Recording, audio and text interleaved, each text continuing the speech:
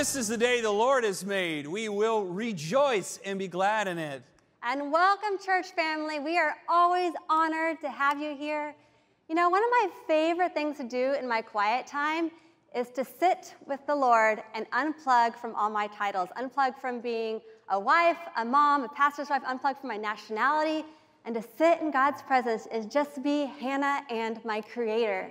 It's been so life giving for me. I've even seen physical improvements in my health from being able to do this. And I want to encourage you to join me this morning and try to just unplug from all your titles and just be a child of God with your Creator this morning. Would you turn around and shake the hand of the person next to you and say, God loves you, and so do I?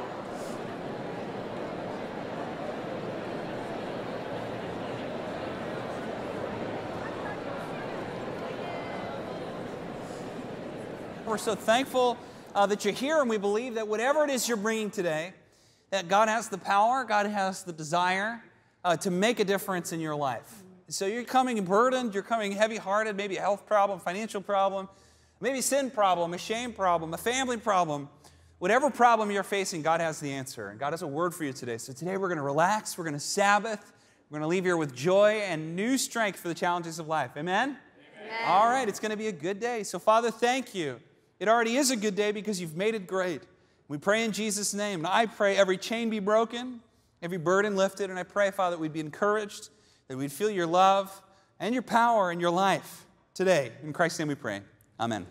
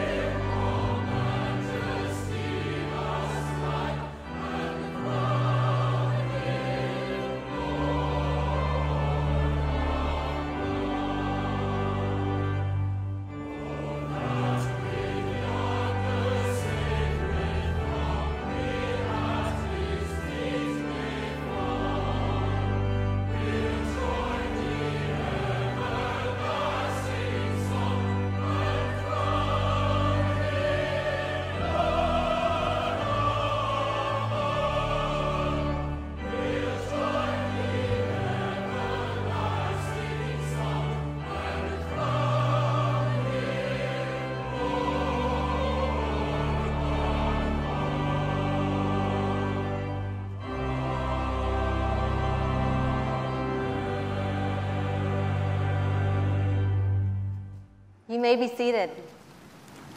In preparation for Bobby's message, the words of our Lord found in Exodus and 1 Peter. Honor your father and your mother, so that you may live long in the land the Lord your God is giving you. In the same way, you who are younger, submit yourselves to your elders. All of you, Clothe yourselves with humility toward one another, because God opposes the proud, but shows favor to the humble.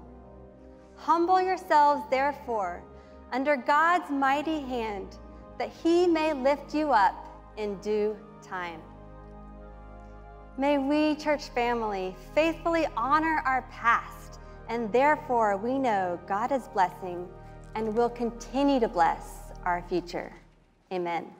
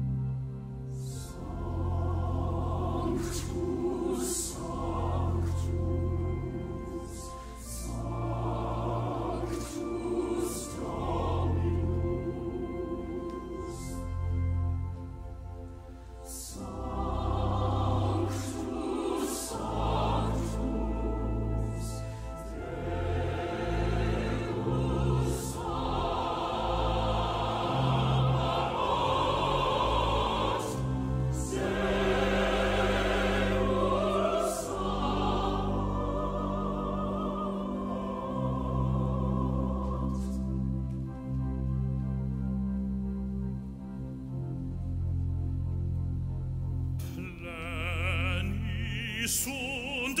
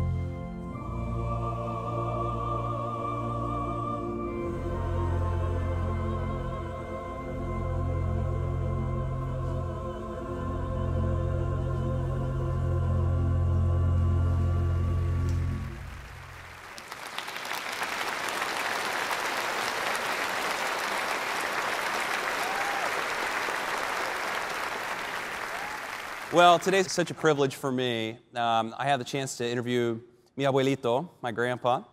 There's a lot of reasons I wanted to have him here today, but we were talking recently, my grandpa, Charles Pursley, and my grandma, Jo Dean Pursley. Uh, my grandpa was a teacher in uh, South Central at Locke High School and devoted a lot of his career uh, to teaching uh, Spanish speaking students uh, how to write and speak Spanish better, which is super impressive because you're a white dude from Missouri. So, uh, so we're going to talk about that. But, uh, well, let's give him a hand. My grandpa, Charles Pursley.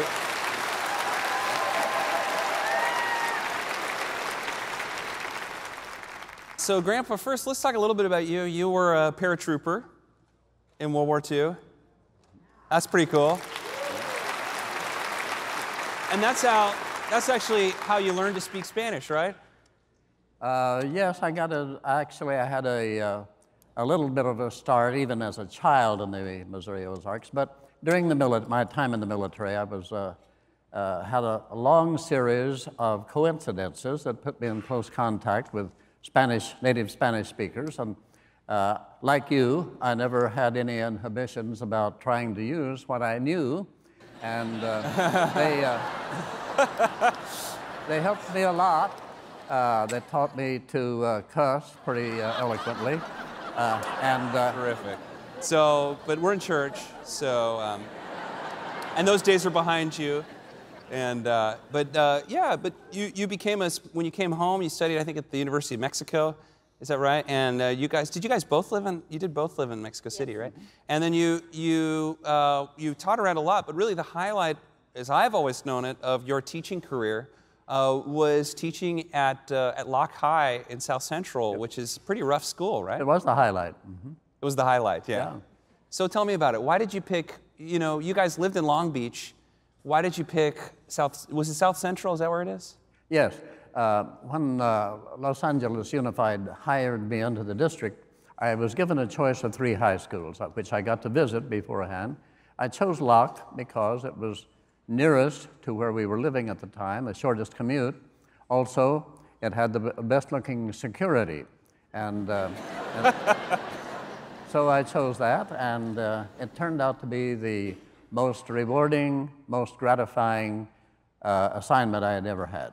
Yeah. So tell me about that. I mean, a lot of people, you know, in in churches, for example, a lot of pastors want always want the biggest, flashiest churches in the nice neighborhoods. This is true of teachers too. They want to teach at the nicest, you know, wealthiest schools. They want to, but that and that's where they think they're going to find their fulfillment. But you kind of went the other direction. You really.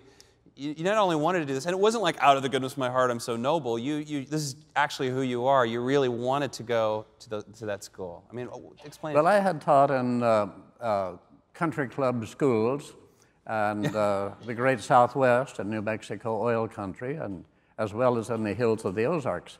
But uh, this was going to be a new experience, and, and uh, uh, I really uh, had mixed feelings about it. But uh, after paying my dues for a couple of years at the inner city, uh, then I uh, was assigned to Spanish for Spanish speakers, AP language and AP uh, Spanish literature. And uh, I had great kids. They, um, they were uh, very smart, very funny, very motivated. They wanted to get a better life. Good people. And their parents were good people, just living in a not so good neighborhood. And um, so uh, they learned well and were appreciative. And um, then I was uh, uh, rewarded by a, a surprise. They found me uh, just a few days, uh, a few weeks ago, on uh, Facebook, and uh, asked me if I was who I was, and I told them I was. And anyway, I didn't recognize them at first on Facebook because they, these were girls who had, had married and had different last names. So uh, we've been in touch since. That we uh, wanted to get together. I was searching for a place, and you heard about it and said, let's have them here. Yeah, that's right. And so what he's referring to is that today, about I think maybe 60 or so of your old students, The last count was 60, including families. okay, are coming today. They're going to be at some various services. We're going to have a gathering. just it was a last minute thing. Um, my first, my grandma was in the hospital, then you were in the hospital, and you were, and I forget how this came up, but I think we said something like, you know, send me some of your old students' names. I'd love to get a hold of them because we were sitting there, and you're like, well, I'm in touch with maybe eight people, and it was like, this person's a teacher, that person's a teacher, this person's a teacher, yeah. that person's a teacher, this person's a teacher, and it was like one after another. And they had gone off to go to some of them to some very impressive schools and to really do well academically. And to me, it was a sign that you and probably some other teachers, but you in particular, had had a big impact on their life. And I don't think they would be flying in and driving from you know, for the four corners of the earth to come today to honor you if you didn't have an impact on them. So I'm grateful for you.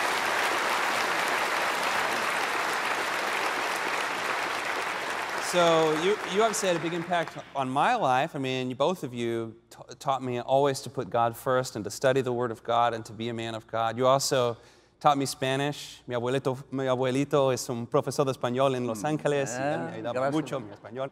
Mi nieto pastor. if you had maybe one thing that you've learned from teaching or from your life that you could share with, I mean, literally the millions of people that are watching or that are here in the church, what's that one thing that you would share? I suppose that whatever you're about, try to make a, a good preparation. Sometimes it'll even work, and sometimes maybe not so well. But try to have a good preparation on what you're about to do, and uh, like what you do. If you don't do it, if you don't like it, get out of it. That's good. I like that. Thumbs up to that. Yeah. You always called me a holiness pastor, which I always yes, think is funny. Yes. And I, I know that's, that brings up images in certain minds, but really you concentrate a lot on the uh, Sermon on the Mount, Jesus pastor, yeah. Jesus uh, sermon. And uh, to me, that's pure holiness. Yeah. And you, I, I have said, uh, I think you're a holiness preacher. I may have better said it if I had said you're a, a preacher of true holiness. Yeah. The other stuff is easy to do. Yeah. This is the hard stuff. Yeah. Thanks, Grandpa. Well, when I, and I think that's what I learned from you is that, and learned from both of you, and from those who I feel like invested in us kids and grandkids, is that living a life for God is the fullest, richest life you can live. You said, yeah. like what you do. I mean, I think a lot of people feel like they have this choice between a full life and a good life, but that's not, that's a deception. The fullest life you can have is a good life, to do good and to be good. Yeah. And, uh, and to be, the only way to be good is to, be, is to put on the Spirit of Jesus Christ. Yeah. Love you guys, and thank you for all you do. We honor you, and we're so grateful for the ways yeah. you've blessed us thank and the many people in this thank church. You. We love you. We love this. Let's give them a hand and thank them.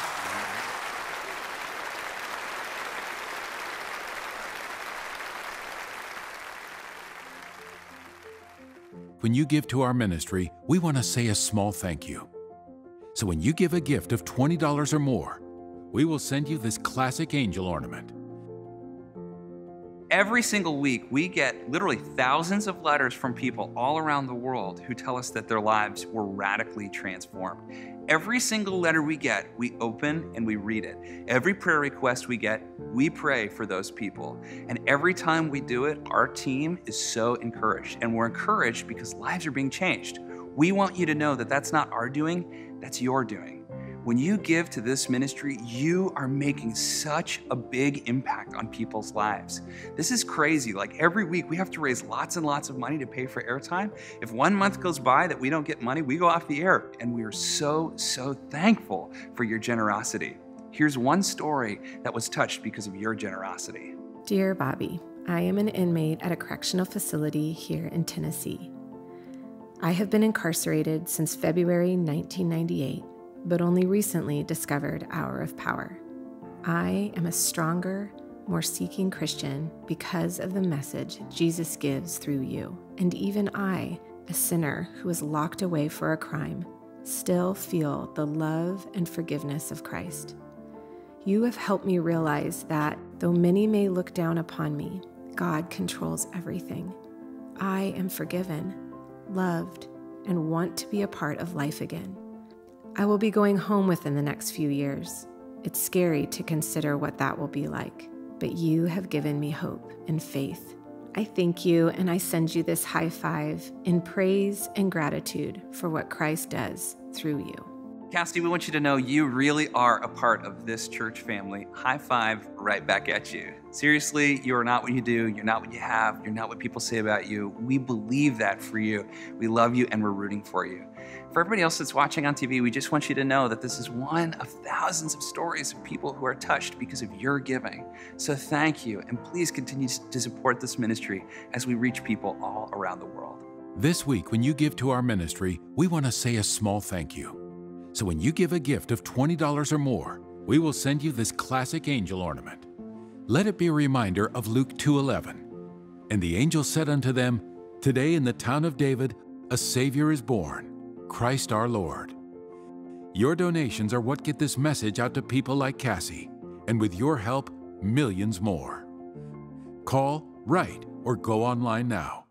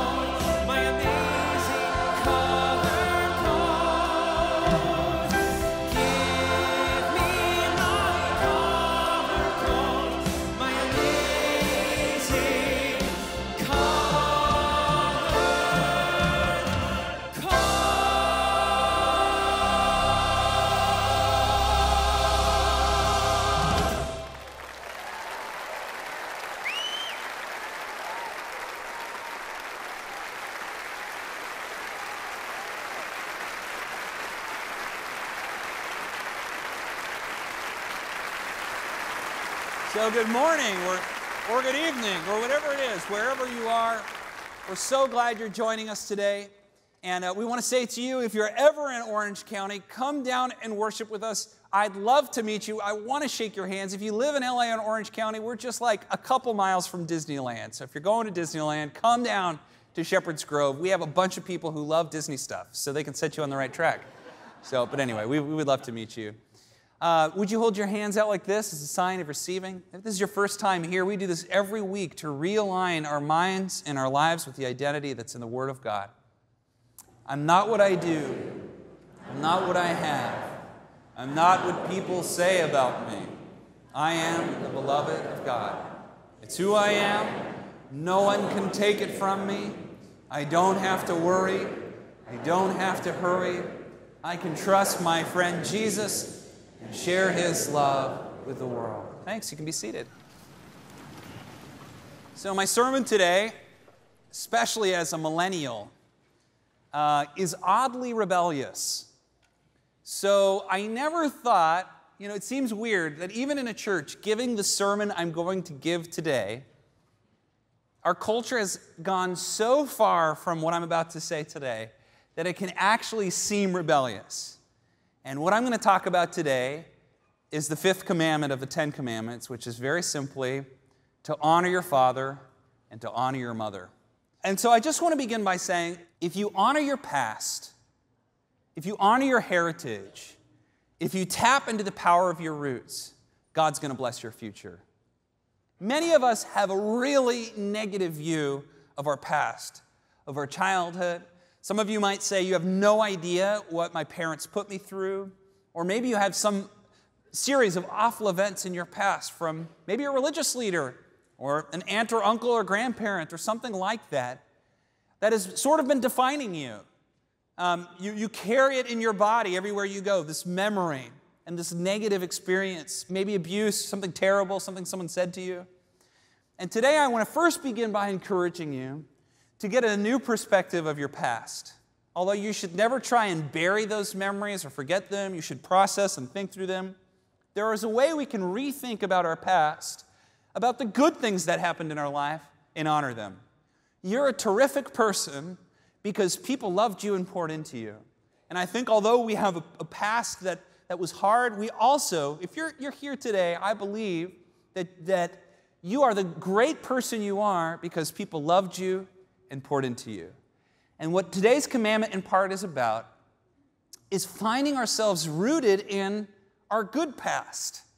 That although we had bad things happen to us, we think often about the many wonderful people who poured into our lives. Even if they've passed on, we continue to honor their memory and their story. And I think as we honor our past, we find a blessing in our future. We find roots, we find meaning, and we find a place in this world.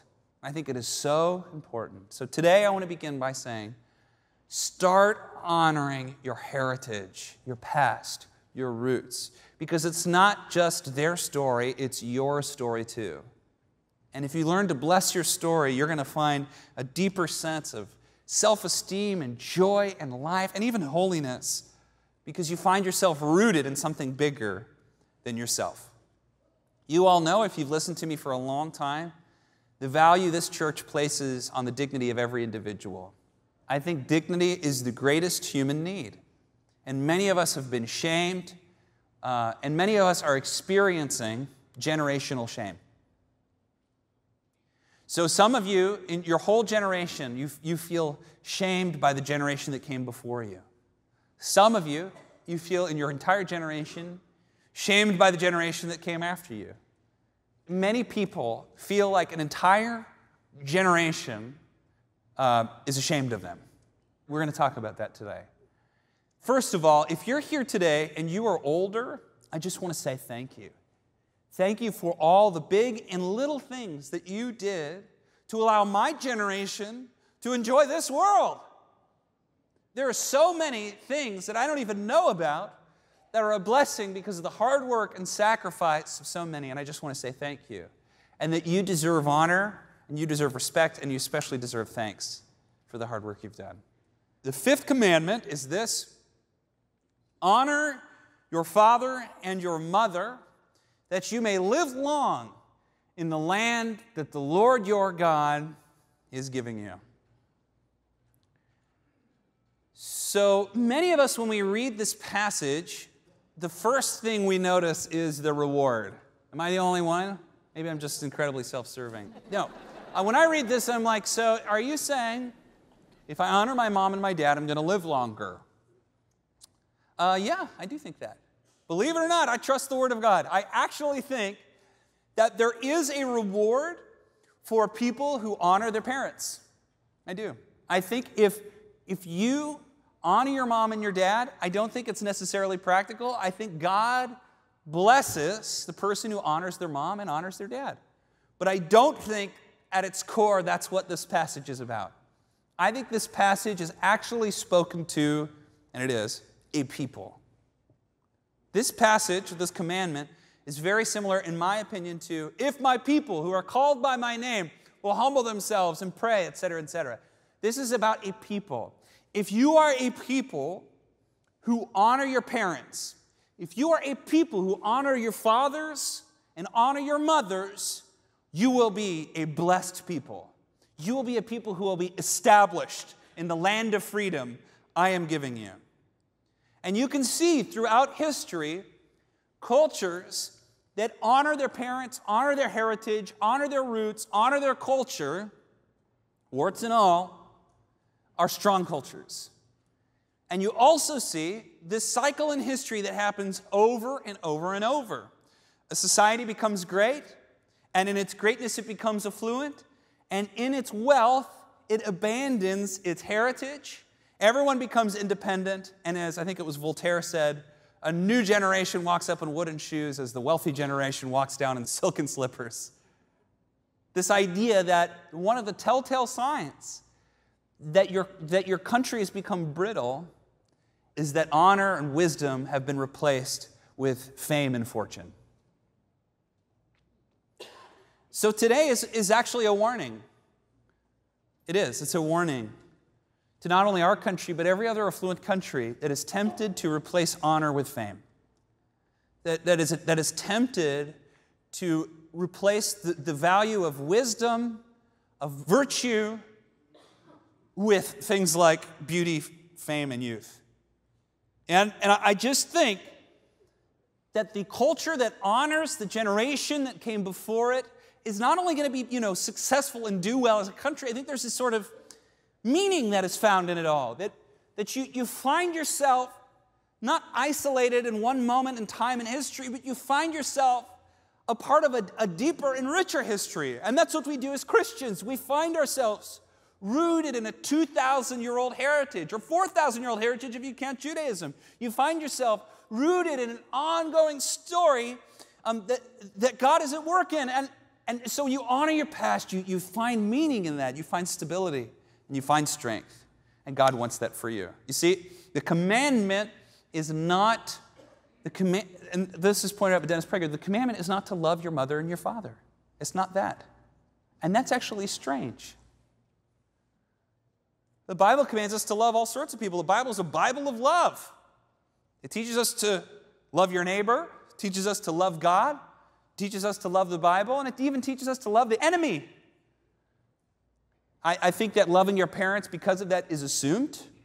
Even if your parents are your enemies, you got to love them. But the commandment doesn't say love your mother and your father. The fifth commandment says honor your father and your mother. Honor them. In fact, it's the only commandment in the Jewish Bible that teaches us to honor a person. It's, and who is it? Our mother and our father. Um, and, and this is so important. Many of us think that the reason it teaches us to honor our mother and our father is for the parent. It's like altruistic, it's, a, it's something the parent needs. I actually don't agree with that. I think the parent likes being honored, I think the parent wants to be honored, but I think children need a parent or a parent figure to honor. That the habit and the decision to honor something wiser, older, or above me is something that's good for me something, it's something I need. I think, I think we live in a generation, in particular my generation, where the temptation is to only have our children love us but not honor us. And you know, I think we can do that because parents want to be honored, but they don't need to be honored. What we forget is we're doing a disservice to our children when we do that. I think. I think that children who grow up not learning what it means to honor their elders are children who are either narcissistic or don't have a very strong moral compass.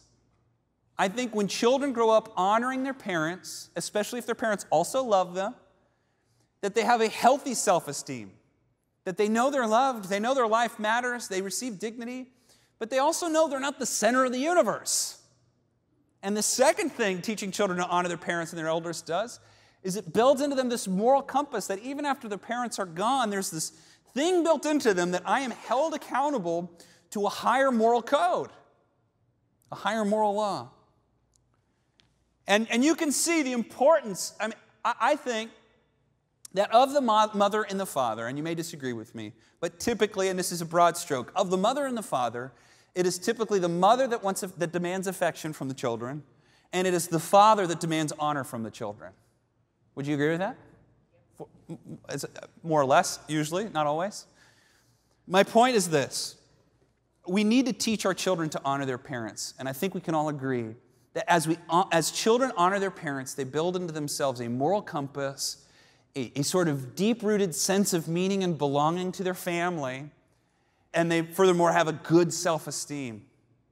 So here's my question to you At what point as a child, if you agree with what I just said, at what point as a child do you get to the point where you don't need an older person in your life to honor anymore?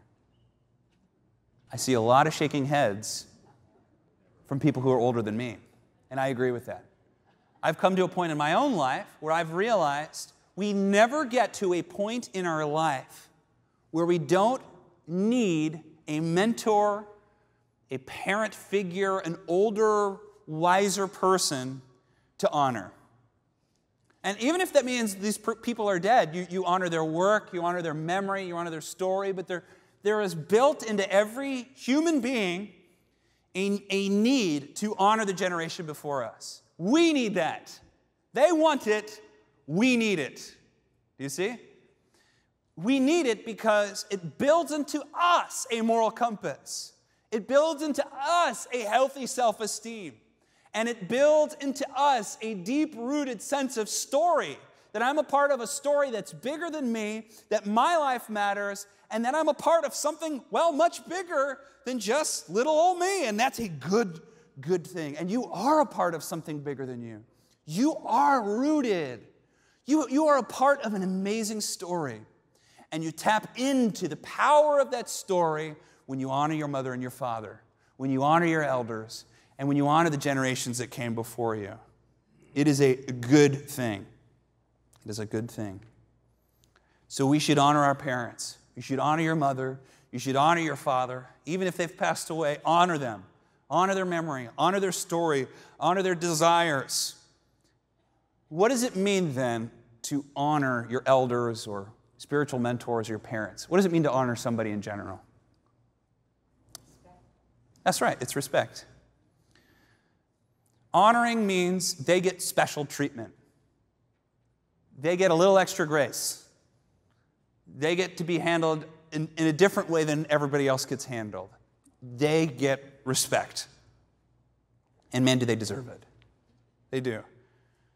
Um, the, one of the best ways to think about honor and the way we become honorable is to think about what dishonor is. So, to dishonor your mother and your father means to stonewall them. To dishonor your mother and father means to cut them off. To dishonor your mother and your father means to mock them or to speak down to them or to raise your voice to them. Those are not honoring things, those are shaming things and they're shameful things. Gossiping, slandering, and cutting off your parents is shameful. But you don't do that. You, you know and you know that honoring your parents, warts and all, even it, all of the things, trust me, nobody has perfect parents. All the things about your parents or the generation before you or the older generation or whatever it is, all the things that bother you about them are vastly trumped by the great things that they have done for you. I think that what happened, especially in the 60s and 70s here in America, was this. I think in the older generation, there was this sense of honor in our culture. But I think there was also kind of behind the curtain a sense of shame.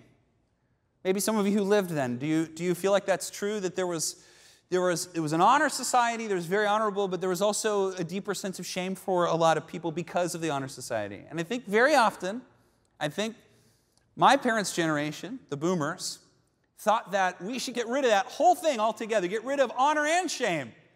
And what was good about that is people were able to be more vulnerable, people were able to be themselves, but what was bad about that is we lost honor. We lost honor. We lost a sense of place. We lost, lost a sense of who we are as a people. Uh, we became especially very negative about everything and very thin skinned. I think that in our desire, but shame is also crippling. So I think in our desire to get rid of shame, we thought, oh, we have to get rid of honor. And that's the irony. Nothing treats shame better than honor. If shame is the great enemy, honor is the great cure. And we threw the baby out with the bathwater. We lost a sense of place, of meaning, um, and, and, and of a right and wrong way to do things, I think. And, and, no, and although it's not completely wrong, I think my generation is starting to sense this in a way that our parents didn't. Like I'm trying, it's weird. I'm in a weird place because I'm trying to honor my parents' generation, the boomers, while challenging what they did. it's a weird place. But I do honor them and I respect them because I think that we're still getting to a better place than we were. If our ultimate place is to create a society that is a society of dignity and honor without having all the deep rooted shame. I think that's where we all want to be. And guess what? We can get there together. And the church can be the place where it starts and spreads to the rest of the world. Can I get an amen? amen. Okay. Okay, good. Not doing as bad as I thought. You can breathe. Okay. Uh, I think, since you asked, I, I think that you can, you can have boundaries honorably, and you should. You can maintain your boundaries with older people, with your elders, and with your parents. You can have healthy boundaries that you maintain honorably. You can say no honorably. You can say no thank you honorably. And you're doing that. You're learning how to do that. And many of you say, You don't know what my parents did to me. And I don't. You're right. And I know many of you have or had abusive parents. And I will say that I think cutting off, is cutting off your parents is shameful unless they're abusive. If there's drugs and alcohol, if there's violence or extreme verbal abuse to you, it is okay to take a break or cut off or put a major boundary up. But most of us are kind of in that gray area where we're really just annoyed. And that's the question. When you're thinking about what kind of boundary to put up, should I cut them off or not? This is a question you ought to ask. Am I annoyed or am I abused? And if you're annoyed, I'm sorry, you're gonna have to suck it up. You're gonna have to suck it up. You're gonna have to just, you don't, not with everybody, but with your mom and your dad, if you're just really, really annoyed, you still have to honor them. I'm sorry. You cannot cut them off, and you need to honor them you need to honor their wishes. You need to honor their, their, it doesn't mean you have to do everything they say, but you do have to respect them. You have to show respect. And if you do that, I promise you, you will be more blessed than you are now. When I see young guys, young teenagers that are like really respectful and honorable, I instantly see somebody that's probably going to do really well in life. Because it's especially rare now. When I see guys that they, they're just really uh, humble. They learn. They're, they're, maybe they're, they're smart, and, but they, they have a humility to them, especially they say, you know, they call me Pastor Bobby instead of Bobby, or they call, you know, they say, you know, uh, you know, Mr. So-and-so rather than Joe. I, I love that. I really love that. Incidentally, I hate it when kids call their parents by their first name. It's, it, because it's that that same, we all know there's some, most of the 90% of us, we're in Southern California, right? But lot, most of us kind of get this icky feeling when a kid calls their parents, you know, John. it's not John, it's dad. So, like, so, um, anyway, and, and I, I, so I see, I think that when young men and young women honor their elders, I think they're, they're already building into their life. Uh, they're they're, they're going to succeed and they're going to do well. They're going to be good parents. They're going to be good at their jobs. They're going to have clear vision. They're going to be rooted in a life of meaning. We need to train our children and we need to train ourselves, no matter how old you are, to respect your elders. If you're 100 years old, I am commanding you honor your elders. There is a way to honor your past and your heritage and your story, um, even if many of the people who are older than you have, have gone on to heaven. The, the biggest thing that we're missing out on, though, when we stop honoring our elders is this is, is the wisdom and the experience and the blessing. There's an incredible wisdom, blessing, and experience there, and it's a bit arrogant to pretend as though we know better. This is my own version of one of the Proverbs, but it, it, to me, it's, it basically says A smart man learns from his mistakes, but a wise man learns from the mistakes of others. You know, the older generation, out of respect to you, is not interjecting and telling you what to do, but many of them are going, Oh, I wish they would just ask me. I've made that mistake 10 times, and I know that he's going to do the same thing if only he'd ask me. We forget that the generation before us wants nothing more than to help us not make the same dumb mistake again that they made. And you want to know the greatest way to honor the generation before you? Ask them for advice. Ask them for insight. Ask them for prayer. Ask them to speak into your life. That is the greatest way. One of the greatest ways you can honor someone is to ask them for advice because what you're saying is, I think you're in this way smarter than me. I think you're more experienced than me. And I want to be more like you and less like me. it's honoring. So tap into the power of your roots. Tap into the power of your roots. There is so much that is made available to you right now if you honor your parents, if you honor your elders, if you honor those who in family or business or in faith have gone before you. They want to teach you, they want to help you. And those of you who, who say, I'm, I'm older, I'm more experienced, I'm a little wiser, Am I right? Don't you want to help the next generation and guide them and speak into them? That's right. That's right.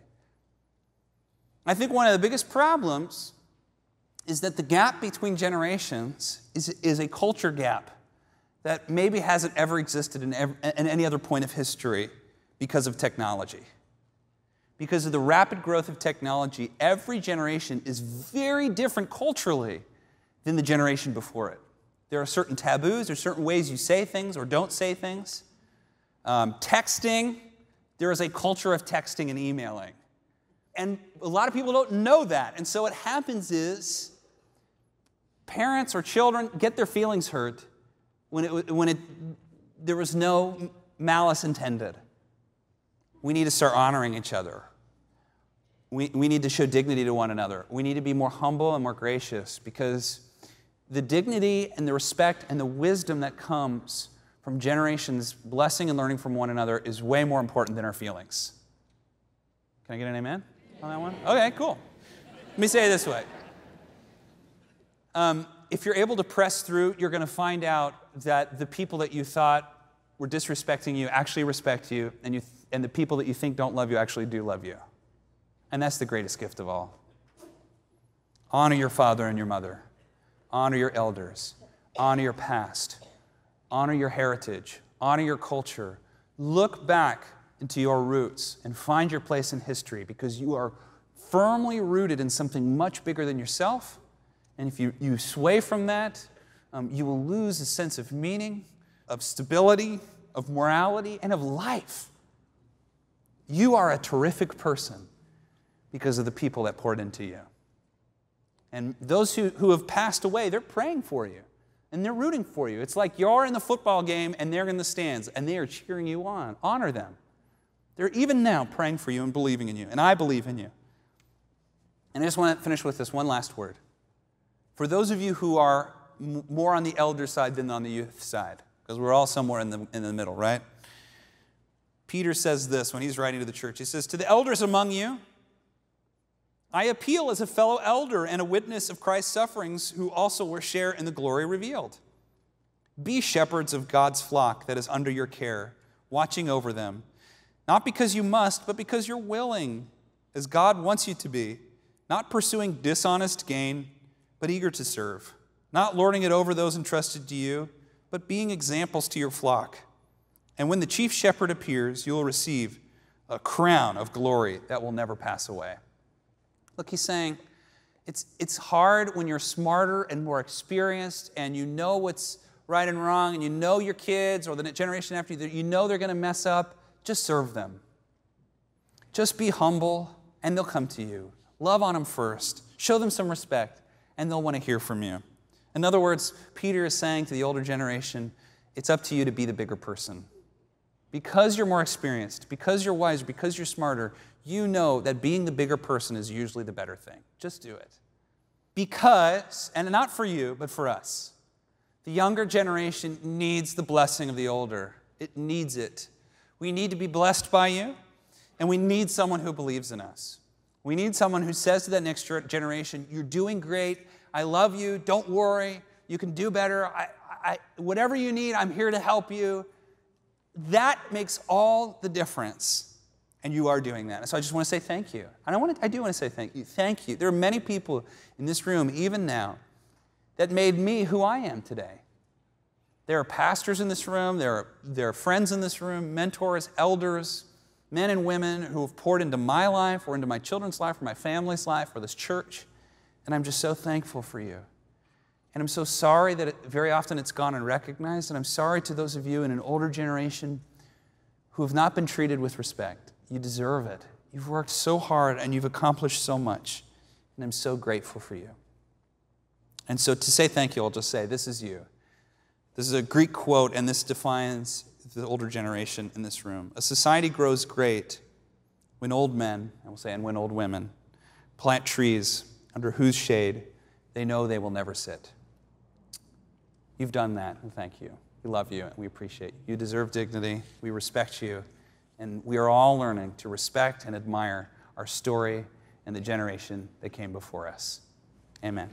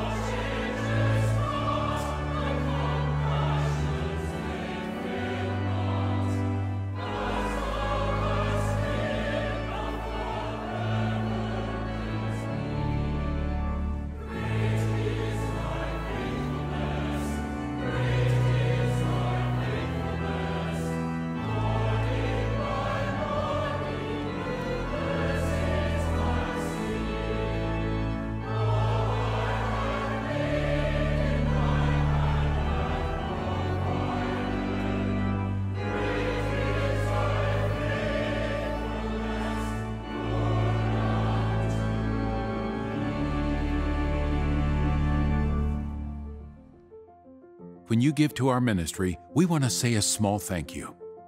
So when you give a gift of $20 or more, we will send you this classic angel ornament. Every single week, we get literally thousands of letters from people all around the world who tell us that their lives were radically transformed. Every single letter we get, we open and we read it. Every prayer request we get, we pray for those people. And every time we do it, our team is so encouraged. And we're encouraged because lives are being changed. We want you to know that that's not our doing, that's your doing. When you give to this ministry, you are making such a big impact on people's lives. This is crazy. Like every week, we have to raise lots and lots of money to pay for airtime. If one month goes by that we don't get money, we go off the air. And we are so, so thankful for your generosity. Here's one story that was touched because of your generosity. Dear Bobby, I am an inmate at a correctional facility here in Tennessee. I have been incarcerated since February 1998 but only recently discovered Hour of Power. I am a stronger, more seeking Christian because of the message Jesus gives through you. And even I, a sinner who was locked away for a crime, still feel the love and forgiveness of Christ. You have helped me realize that though many may look down upon me, God controls everything. I am forgiven, loved, and want to be a part of life again. I will be going home within the next few years. It's scary to consider what that will be like, but you have given me hope and faith. I thank you and I send you this high five in praise and gratitude for what Christ does through you. Cassidy, we want you to know you really are a part of this church family. High five right back at you. Seriously, you are not what you do. You're not what you have. You're not what people say about you. We believe that for you. We love you and we're rooting for you. For everybody else that's watching on TV, we just want you to know that this is one of thousands of stories of people who are touched because of your giving. So thank you, and please continue to support this ministry as we reach people all around the world. This week, when you give to our ministry, we want to say a small thank you. So when you give a gift of $20 or more, we will send you this classic angel ornament. Let it be a reminder of Luke 2:11. And the angel said unto them, Today in the town of David a Savior is born, Christ our Lord. Your donations are what get this message out to people like Cassie, and with your help, millions more. Call, write, or go online now.